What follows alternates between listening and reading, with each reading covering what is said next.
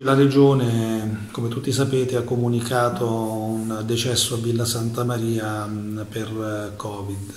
Purtroppo abbiamo perso una cara concittadina in questo tragico momento. Una delle riflessioni che faccio è che purtroppo eh, la sanità eh, non sempre è in grado di risolvere i problemi come in questo caso, anche se mette molto impegno.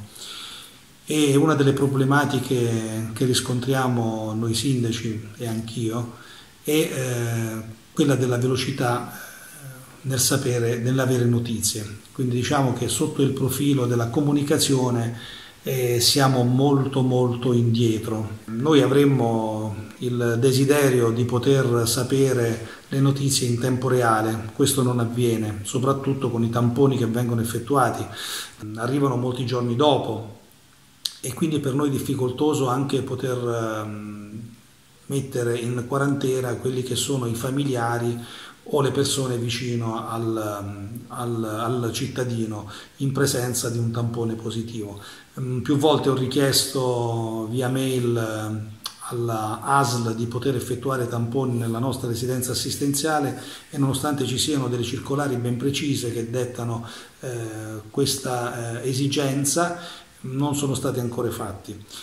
E quindi c'è qualcosa che non funziona in tutto questo sistema, non devo dirlo solo io, eh, non lo dico solo io, eh, però è certo che eh, bisogna migliorarlo per fare in modo che non dilaghi eh, questa eh, emergenza. Noi sindaci siamo in grado di trovare soluzioni a moltissime cose, siamo in grado di organizzarci da solo per quanto riguarda ehm, con la protezione civile, H24 nel poter arrivare nelle case dei più deboli, eh, delle persone bisognose, ma sotto il profilo eh, degli esami bisogna che la regione, quindi di conseguenza le ASL, eh, abbiano eh, la possibilità di far sapere in tempo reale ai sindaci quelli che sono eh, gli esiti dei tamponi. Basterebbe una semplice telefonata al posto di aspettare giornate e giornate e giornate eh, una PEC o una mail.